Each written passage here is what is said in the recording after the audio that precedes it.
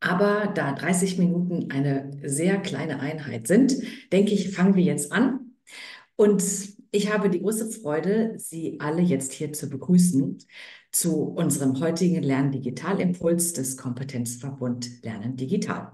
Herzlich willkommen.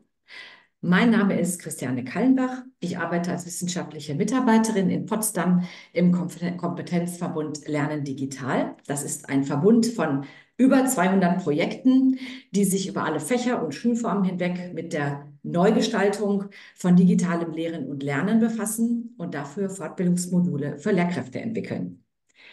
Ich bin für die Vernetzung der Projekte im Sprachenbereich zuständig und um eines dieser Projekte geht es heute, und zwar um das Projekt mit dem vielversprechend klingenden Namen KISS Pro. Dazu gleich noch ein bisschen mehr. Für alle, die heute das erste Mal bei unserem Lernen Digital Impuls dabei sind, mit diesem Veranstaltungsformat verfolgen wir zwei Ziele.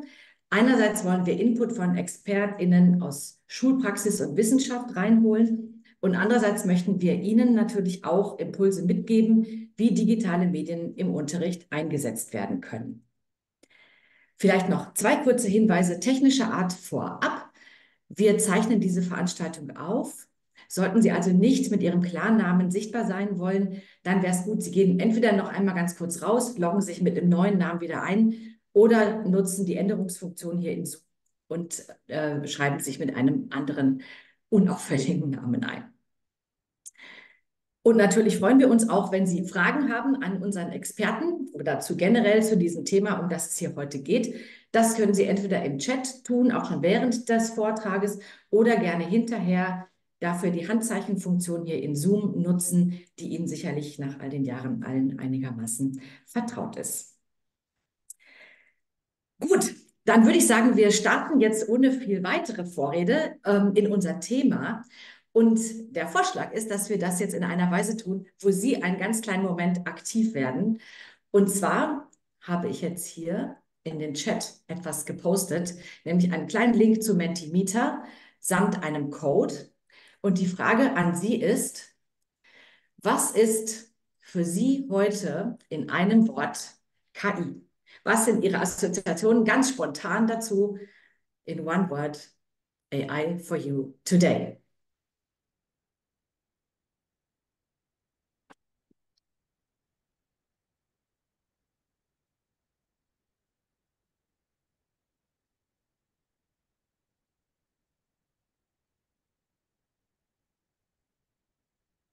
Hier sind zwei Einträge schon. Das ermutigt vielleicht alle anderen auch, sich mit einem kleinen Wort zu beteiligen an dieser Wolke.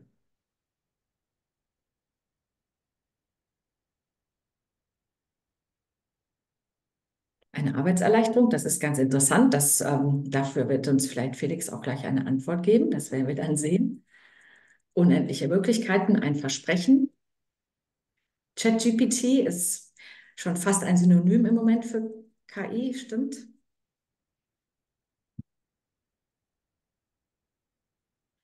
Verrückt. Unheimlich.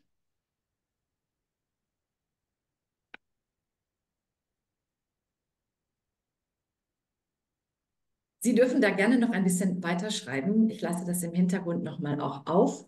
Und ähm, wir holen diese Wolke vielleicht am Ende des Vortrags auch nochmal rein. Aber hier und da, denke ich, haben wir vielleicht jetzt schon mal ein ganz gutes Sprungbrett in den Vortrag, um den es jetzt gleich geht. Danke für Ihre Beiträge hier. Ich nehme jetzt mal die Bildschirmfreigabe wieder raus und will noch ganz kurz unseren heutigen Referenten, unseren Experten vorstellen und begrüßen. Herzlich willkommen, Felix Reuth. Felix ist akademischer Mitarbeiter ebenfalls hier an der Uni Potsdam in dem schon erwähnten Projektverbund KISS Pro in, es ist ein Kompetenzverbund, da sind viele Fächer versammelt, Sprachen, Gesellschaft und Wirtschaft. Und dort ist dieses Projekt auch angesiedelt.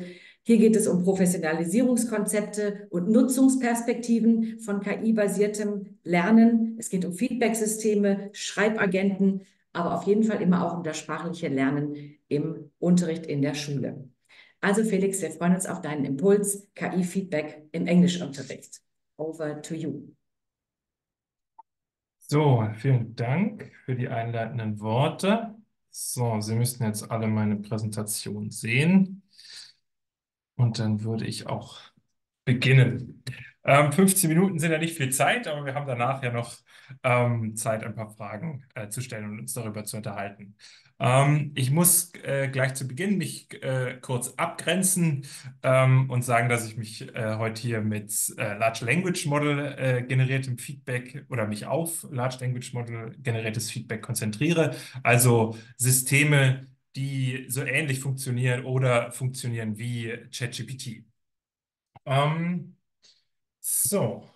Genau, was habe ich Ihnen heute in der Kürze mitgebracht? Und zwar möchte ich Ihnen einmal äh, kurz eine Zukunftsvision äh, ähm, präsentieren und ähm, Ihnen dann zeigen, ähm, was denn schon heute funktioniert und was vielleicht noch nicht funktioniert.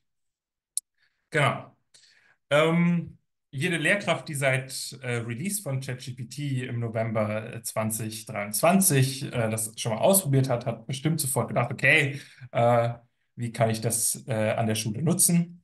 Äh, und eine Möglichkeit, die sich ja vielen in den Sinn kam, war eben für Feedback. Denn Feedback ist eine sehr zeitaufwendige Angelegenheit. Ähm, das ist das, womit viele Lehrkräfte ihre Abende füllen oder ihre, ihre Ferien. Und da unterstützt zu werden, wäre natürlich ähm, eine ungemeine äh, Entlastung für viele Lehrkräfte.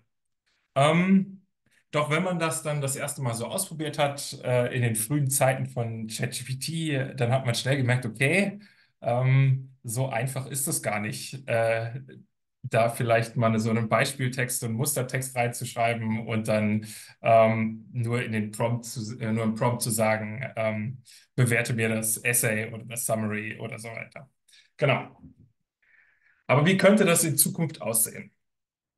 Und zwar ähm, habe ich Ihnen da zwei Sachen äh, mitgebracht. Äh, man könnte, und das ist jetzt so der äh, Schrei der letzten, des letzten Monats vielleicht, ähm, und zwar kann man äh, mit sogenannten LMMs, äh, sogenannten Large Multimodal Models, äh, wie äh, dem neuen von OpenAI, GPT-4o, ähm, wunderbar digitalisieren.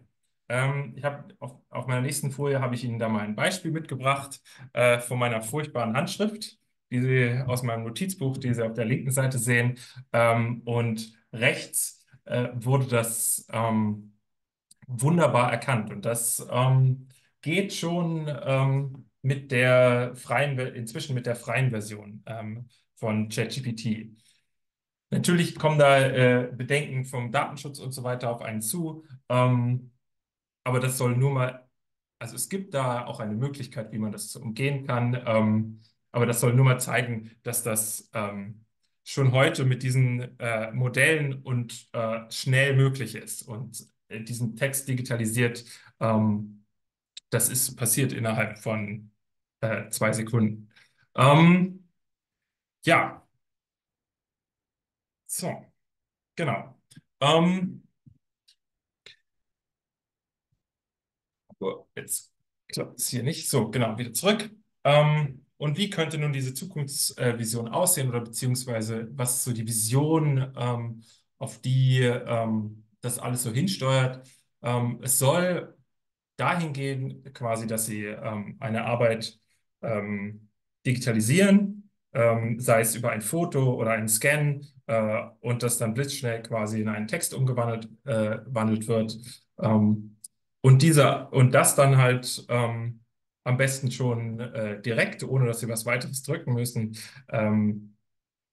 in ein Bewertungsraster, also ein Bewertungsraster von einem Large Language Model ausgefüllt wird. Ähm, genau. Also das heißt, Sie würden also quasi diesem Large Language Model ein ähm, Bewertungsraster zugrunde legen und sagen, ähm, bewerte mir äh, dieses, äh, dieses Essay oder diese Übung äh, anhand dieses Bewertungsrasters. Und ähm, das geht heute schon. Wie gut das funktioniert, das werden wir uns nachher anschauen. Ähm, Genau. Ähm, dieses, diese Idee oder diese Vision soll, ist natürlich gedacht mit äh, nach dem Prinzip Human in the Loop. Das heißt, alles KI-generierte soll immer auch, ähm, bevor es quasi rausgegeben wird, ähm, soll ein Mensch äh, darauf schauen. Das birgt natürlich auch viele, äh, viele Gefahren, wenn wir irgendwann mal in, in ein, zwei, drei Jahren äh, so ein System einführen oder testen. Äh, einmal, dass man sich komplett verlässt auf die Maschine äh, und zum anderen äh, sind, wenn das mit sogenannten Large Language Models gemacht wird, ähm, hat es auch die Schwierigkeit, dass diese Systeme Blackboxen sind. Das heißt, äh, wir können nicht nachvollziehen, wieso sie zu einem Ergebnis kommen.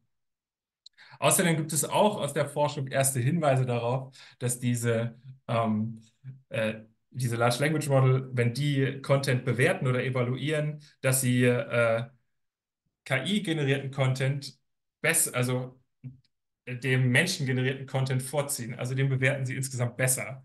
Ähm, was natürlich ähm, das Schummeln oder das Generieren von äh, Schülerarbeiten ähm, ja, was das Schummeln dann sehr attraktiv macht, wenn man das weiß. Ähm, genau. So. Kommen wir zum nächsten ähm, Punkt auf meiner Liste heute. Wie gut funktioniert das schon heute? Ähm, wenn man in die Forschung schaut, ähm, dann gibt es schon einige Hinweise und Belege darüber, ähm, dass äh, Large Language Modelle äh, gut Feedback geben können. Und auch im Vergleich zu menschlichen äh, Bewertern ähm, kommen diese äh, Large Language Model auf eine Übereinstimmung von je nach Studie äh, von so 65 bis 85 Prozent. Ähm, ja, da habe ich Ihnen hier mal ein Zitat aus einem Paper von, äh, von letztem Jahr, die eben äh, geschaut haben, ob GPT-4, eins der besten Modelle äh, von OpenAI, ein ähm, verantwortungsvoller und vertrauenswürdiger äh, Bewerter ist. Äh, und die kommen eben zu dem Schluss, äh, dass es das schon kann. Ja, so. Ähm, ja, und jetzt habe ich Ihnen äh, ein Beispiel mitgebracht, wo ich das selbst mal äh, probiert habe. Ähm, oh, beziehungsweise davor sage ich Ihnen erstmal kurz, äh, was es momentan ähm, äh, so gibt auf meinem Horizont. Ähm, das ist einmal Fita AI. Äh, die sind momentan noch in der, in der Beta. Da kann man sich kostenlos anmelden und hat dann so ein paar Freiversuche. Ähm, äh, genau, die, die bieten quasi eine Feedback AI an. Ähm, Phobis bietet einen Korrekturassistenten an. Und dann gibt es natürlich die, ähm, die reinen Large Language Model wie äh, GPT-4 oder 4o von OpenAI, aber auch ähm, äh, Open Source Modelle äh, wie Llama 3 ähm, von Meta. Und die, diese Open Source Modelle sind deswegen interessant, weil man äh, die sich runterladen kann und auf seinem Rechner laufen lassen kann, wenn man einen stark genug Rechner hat. Und ähm, das wäre natürlich dann in Sachen Datenschutz ähm, sehr begrüßenswert, weil dann keine Daten quasi rausgehen würden ins Internet, sondern alles lokal auf dem eigenen Rechner verarbeitet oder dem Schulserver verarbeitet wird. Gut, jetzt habe ich Ihnen äh, eine Aufgabe mitgebracht.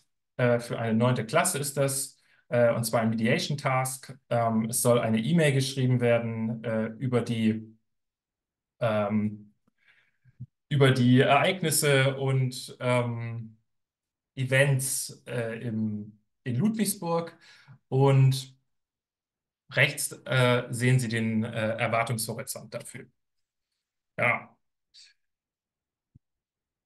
Wenn wir, das, wenn wir uns das jetzt mal äh, angucken, dann habe ich jetzt ähm, äh, habe ich aus diesem, diesem Text äh, und diesem Erwartungshorizont ähm, einen Prompt zusammen äh, zusammen je nach, also auf Grundlage von einigen Prompt Engineering Tipps und so weiter habe ich äh, versucht, einen Prompt zusammenzustellen, ähm, den besonders äh, strukturiert und habe dann meine äh, studentische Hilfskraft gebeten, mir diese Aufgabe mal zu erfüllen und zwar in verschiedenen Anforderungen, also in verschiedenen Niveaus. Äh, wir hatten einmal quasi eine, eine Musterlösung, einmal ein, ein so ein Dreier-Niveau, wo wir sehr viele Rechtschreibfehler eingebaut haben, äh, aber ansonsten Struktur und, äh, und Inhalt war, war gut.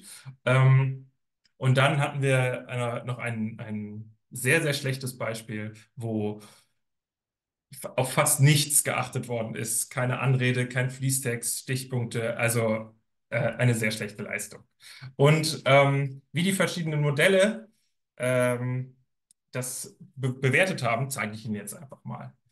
Ähm, das ist äh, die Bewertung des Mustertexts, einmal links von ChatGPT. Ähm, der bewertet das mit einer Note äh, von, äh, von 12 Punkten, 12 von 15 Punkten. Rechts äh, haben wir Lama 3, die Open Source Variante, die bewertet das mit 11 Punkten. Ähm, was schön zu sehen ist hier auf der rechten Seite, ähm, das ist ähm, auch bei ChatGPT auch passiert. Das ist bloß ausgeschnitten, damit es auf die Folie passt. Ähm, ist das quasi so eine kurze, äh, also es wurde sich an dieses Bewertungsraster, was ich initial gezeigt habe, gehalten. Ähm, und äh, die AI ging die Zeilen lang und hat auch immer geschrieben, ob sie das positiv bewertet, negativ bewertet und dann auch immer, fast immer mit einer kleinen Begründung. Äh, wie das bei ChatGPT dann aussieht, kann ich Ihnen auch mal schnell zeigen. Wow. Ich glaube, das müssten Sie sehen. Na? Genau, da sieht es dann so aus. Genau. Also hier wird dann auch, der, der gibt nicht diese Plus und Minus, aber der äh, gibt immer zu jedem einzelnen Punkt des Bewertungsrasters ähm, eine, äh, eine kurze Bewertung. So sieht das Ganze dann äh, bei Fite AI aus. Und was wir schon, ähm, also genau, da sind dann die, die einzelnen äh, Zeilen des Bewertungsrasters sind bei Fite AI in, ähm, in einzelne äh, Feedback-Kriterien äh, unterteilt. Äh, die kann man dann noch gewichten. Ähm, genau. Und was wir jetzt schon, was wir, was wir sehen, ist, dass die, äh, die Musterlösung bei allen hier einmal mit 12, mit 11 und auch äh, äh, bei Fiete, wenn man hier die, ähm, äh, die, die Fülle dieser, Graph, äh, dieser, dieser Graphen der Linie als Note äh, nimmt, ist das, kommt das alles so auf eine 2 raus. Gut. Schauen wir uns mal an, wie das ähm, in, bei dem mittleren Beispiel, bei dem Dreierbeispiel aussieht. Ähm, da gibt ChatGPT äh, eine Bewertung von 14 von 15 Punkten obwohl das äh, voller Rechtschreibfehler ist, äh, gibt es eine sehr, sehr gute Note. Ähm, und Lama 3 gibt auch nur, äh, gibt wieder, aber auch besser, 12 Punkte. Bei Fiete ist das etwas äh, konsistenter. Äh, da nehmen die Graphen fast alle ab, vor allem äh, quasi ähm, der erste stark gewichtete und ähm, der letzte. Ähm, das macht auch Sinn, weil bei diesem äh, letzten ging es um, äh, um, um, die Sportaktivitäten in Ludwigsburg und die wurden bei diesem Mediation Task äh, in der Aufgabe überhaupt gar nicht erfüllt ähm, oder erwähnt. Genau. Ähm, ja, und dann das allerschlechteste Beispiel wird von ChatGPT wieder mit ähm, 11 von 15 Punkten bewertet äh, und bei Lama 3 aber wenigstens äh, mit 7. Aber da muss man dazu wissen, dass, dass dieses Beispiel, das ist absolut kein Fließtext. Also das sind wirklich ähm, nur zusammenhangslose äh, Wörter zusammengewürfelt ähm, in, äh, genau, in Stichpunkten, keine ausgeschriebenen Sätze und so weiter. Und trotzdem äh, fällt die Bewertung gut aus. Und das ist... Ähm, erschreckend. Oder was heißt erschreckend? Das ist äh, erstaunlich, dass die Modelle so, äh, so bewerten. Ähm, schauen wir aber jetzt mal auf Fiete, dann äh, stellen wir fest, okay, um, das ist schon schlecht, das ist schlechter, das ist wenigstens in sich äh, kohärent. Um, ja, was lässt das nun für Schlussfolgerungen zu? Ähm, oder beziehungsweise, wo stehen wir? So, wenn man einfach so ein allgemein trainiertes Large Language Model nimmt und damit ähm, versucht, Texte zu bewerten, äh, und da ist es egal, ob man ein, ähm, eins der besten mit GPT-4 äh, benutzt oder ein Open Source Modell, ähm, sind die Ergebnisse hm, nicht wirklich toll. Manchmal ähm, erwischt man es eben, erwischt man es sehr gut. Da denkt man, okay, wow, das ist echt spot on. Und manchmal ist es eben so von wegen, ja, okay, es ähm, hat es überhaupt nicht getroffen. Ähm, genau, das ist äh, auch so das äh, Problem, was da so mitschwimmt. Weil in diesen Large Language Models, und ich glaube, das haben diese äh, Beispiele äh, ein wenig verdeutlicht, ist noch viel Zufall mit eingewoben. Ähm, den kann man, wenn man sich sehr, sehr viel Mühe gibt, mit noch einem sehr viel besseren Prompt, mit sehr viel ähm, feiner äh, strukturierten Aufgaben und Bewertungskriterien, ähm, kann man das verbessern und kann man sicherlich auch auf diese, wie in diesem wissenschaftlichen Artikel, 65 bis äh, 85 Prozent Übereinstimmung kommen. Ähm, aber das erfordert, wie gesagt, sehr viel Arbeit und ähm, funktioniert nicht mal eben so. Ähm, ja, also mein Rat wäre da, wenn Sie äh, momentan beim aktuellen Stand der Technik so etwas benutzen wollten, ähm, schauen, Sie, schauen Sie bei äh, Phobis und Fiete äh, rein oder ähm, sorgen Sie dafür, dass diese, dass das, was Sie mit solchen äh, Modellen anfangen und ähm, dass Sie, was Sie mit solchen Modellen umsetzen äh, wollen, sehr einfach und allgemein gehalten ist. Ähm, ich habe für einen äh, anderen Vortrag mal einen, ähm, einen Custom GPT gebaut. Ähm, der nennt sich der Simple Path Trainer und der kann auf Aufgaben, die das Simple Path betreffen, wirklich zu 99,9 Prozent die richtigen Antwort, äh, Antworten geben. Aber das liegt eben daran, dass die Aufgaben sehr allgemein und sehr einfach gehalten sind.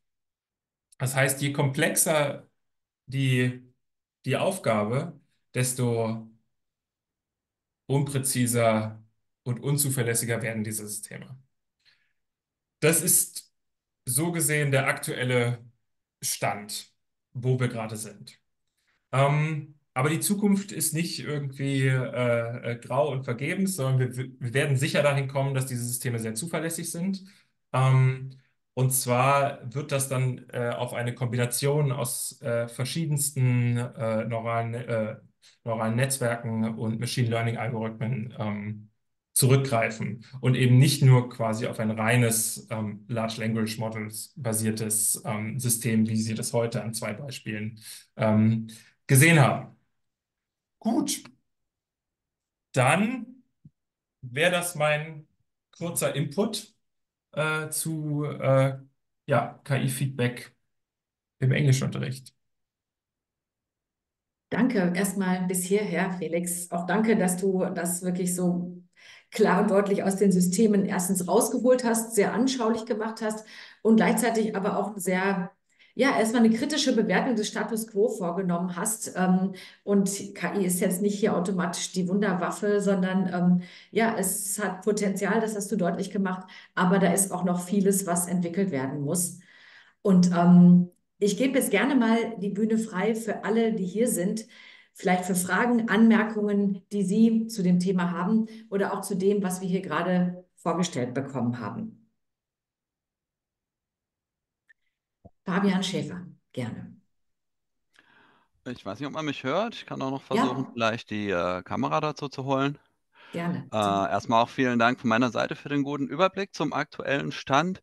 Ähm, ja, das deckt sich auch so ein bisschen mit meinen Erfahrungen, beziehungsweise wie ich die Modelle kennengelernt habe und einschätze. Es sind eben im Moment so allgemeine Sprachsimulationen, die bei logischen Aufgaben oder Struktur nichts taugen. Aber ähm, ich weiß nicht, ob Sie Erfahrungen gesammelt haben, ähm, Textmodelle vielleicht mal reinzugeben. Ich würde an der Stelle interessieren, wenn man der, äh, dem Large Language Model verschiedene Musterlösungen äh, vorgibt äh, mit einer Bewertung.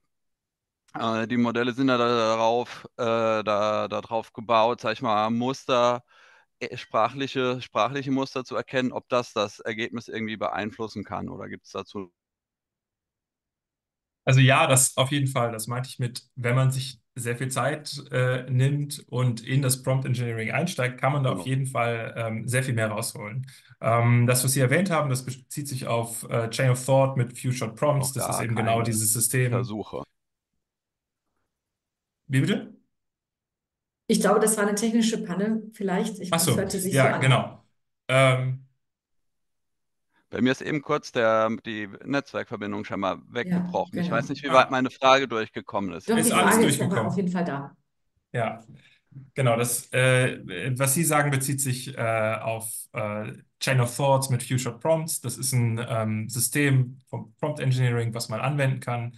Äh, und das ist auch nachgewiesen, dass das äh, sehr viel bessere Leistung schafft. Ähm, genau, das erfordert halt einen sehr komplexen Prompt, ähm, den man sicherlich bauen könnte. Und ähm, da sind wir auch dran, das zu untersuchen. Aber wir forschen noch. Ich hole jetzt mal schnell noch eine weitere Frage oder Anmerkung rein von Sarah. Ja, hallo Felix, auch ein Dankeschön von mir ähm, für den Vortrag. Ähm, ich versuche das auch bei meinen Klassenarbeiten und Klausuren irgendwie zu verwenden. Ähm, Feedback, also wenn ich das richtig verstanden habe, ist jetzt der Fokus gerade bei dir beim inhaltlichen Bereich gewesen. Denn mein Eindruck ist, dass die ähm, Large Language Models schon bei Sprache ganz, also eigentlich gut sind. Also wenn ich denen sage, korrigiere den Text nach, weiß ich nicht, Spelling, Grammar, Tenses, was auch immer. Das könnte ja schon verdammt gut und das wäre ein Traum, wenn ich jetzt hier vor meinen Abiturklausuren sitze und die nur den Sprachteil schon mal vorkorrigieren könnten und ich dann das Inhaltliche selbst dann durchdringen kann. Aber wenn diese Erstkorrektur, diese lästige Erstkorrektur, wo es wirklich not a very smart person bedarf, Spelling und Grammar durchzujagen, das wäre doch schon eine feine Sache. Und sehe ich das richtig, dass deine Anfragen bisher sich auf den inhaltlichen Bereich ähm, fokussierten? Style, Style und Content, ja, genau. Mhm. Ähm, weil, sagen wir, Rechtschreibung und Grammatik, das ist ja was, was prinzipiell schon eine ganze Weile geht. Also sei es nun äh, ein Grammarly oder eine äh, Word-Korrekturhilfe, die sind ja auch schon unglaublich weit. Ähm, den Vorteil, den jetzt natürlich so ein Large Language Model hat, ist, dass das dann das vielleicht gleich alles annotiert und rausschreibt und so weiter. Ähm, das Problem ist nur auch da, dass er nicht immer alles trifft. Und ähm, in meinen Tests war das dann so, ja, okay, er, er findet manche Fehler, er findet aber nicht alle. Und wenn ich dann äh, wieder anfrage und die Anfrage zurückschreibe, hey, sind dann wirklich nicht noch mehr Fehler drin? Und weil ich eben weiß, dass Fehler drin sind, ähm, dann kommt er auch mit, mit dem Rest raus. Aber ja, Mhm. Aber das Stand ist ja nicht zufriedenstellend. Ja. Aber Stand jetzt wäre es doch ziemlich lästig für mich als Lehrerin, erst A, die KI zu bewerten und dann zu gucken, ist das, was die KI jetzt vorschlägt, tatsächlich im Text vorgekommen? Das wäre ja eine, eine, Doppelarbeit Eben, jetzt Stand Eben, jetzt. ne? deswegen, Ja. es ist ja noch, da ist ja noch, da ist ja noch keine äh, Arbeitsentlastung Ja, entstanden. Deswegen muss das eben erst so gut werden, dass es wirklich alles trifft. Mhm. Ja. Danke. Danke auch für diese Frage und die Anmerkung. Ich habe noch mal im Chat kurz das Bild gepostet, das wir am Anfang erzeugt haben, wo in der Mitte das große Wort Arbeitserleichterung stand oder Hilfsinstanz. Also wir haben da auf jeden Fall noch einen gewissen Weg vor uns, aber ich finde auch diese Unterscheidung noch mal gut zwischen dem sprachlichen Bereich und dem, was Felix genannt hat, zwischen Content und Structure oder Style, ähm, weil das eben wirklich noch mal ganz unterschiedliche Bereiche sind, die auch zu ganz unterschiedlichen Ergebnissen, denke ich, führen. Möchte noch Also, jemand gerne Sorry? Ich könnte kurz noch die, äh, das große Wort in der, in der Mitte, Arbeitserleichterung, kommentieren. Also ich, ich denke auf jeden Fall, dass wir dahin kommen und dass wir auch in kürzerer Zeit, mit einem kürzeren Zeithorizont, sagen wir ein bis zwei bis drei Jahre dahin kommen, dass äh, wir solche Systeme haben.